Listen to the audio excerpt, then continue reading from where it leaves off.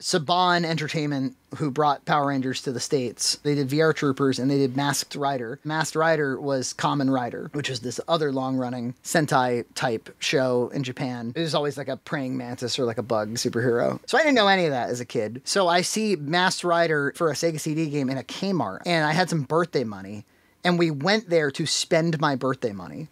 It's, yeah, it's awesome. I bought a holiday VHS of the sitcom Dinosaurs. It had the werewolf Halloween episode and it had Refrigerator Day, both of which are excellent episodes of Dinosaurs. and then it must have been Halloween time. Or Ernest Scared Stupid, I bought. That's a good haul. That was a really, yeah. I, if I had a YouTube channel when I was seven, my God. Have your iPhone in the store. hey guys, what is going on? This is seven year old Frankie. I sound like this for some reason.